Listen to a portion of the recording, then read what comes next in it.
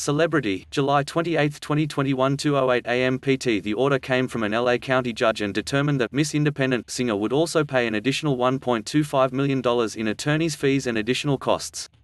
The latest ruling to come out of a Los Angeles County court came with a hefty price tag for Kelly Clarkson amid her ongoing divorce from ex-husband Brandon Blackstock. Media reports, including People, have speculated that Blackstock was seeking close to $450,000 per month in child support, so this latest order has at least knocked that number by more than half. YouTube Kelly Clarkson talks shame and guilt of divorce and putting heartbreak into next album view story instead. A judge has ordered that Clarkson will pay out $45,601 per month for child support for 6-year-old River Rose and 4-year-old Remington Alexander. Clarkson has primary custody of their children, per a ruling from a Los Angeles County judge in November 2020. Per the order, Blackstock will also receive $150,000 per month for spousal support, per the blast.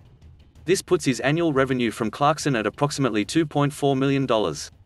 Clarkson is also expected to pay his attorney's fees and additional costs totaling $1.25 million. As noted by People, Clarkson had requested earlier this month that a judge go ahead and sign off on the divorce, even as custody and financial support were still being ironed out. Her reasoning was that both she and Blackstock both deserve the opportunity to build a new life.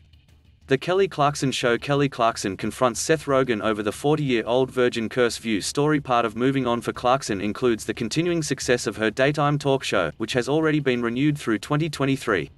A critical and ratings darling for NBC Universal, Clarkson was given a huge vote of confidence when it was announced she would take over Ellen's timeslot after DeGeneres wraps her series next year.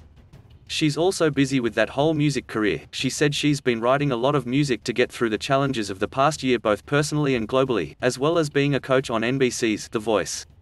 Clarkson first filed for divorce from Blackstock in June 2020 after seven years of marriage, citing irreconcilable differences.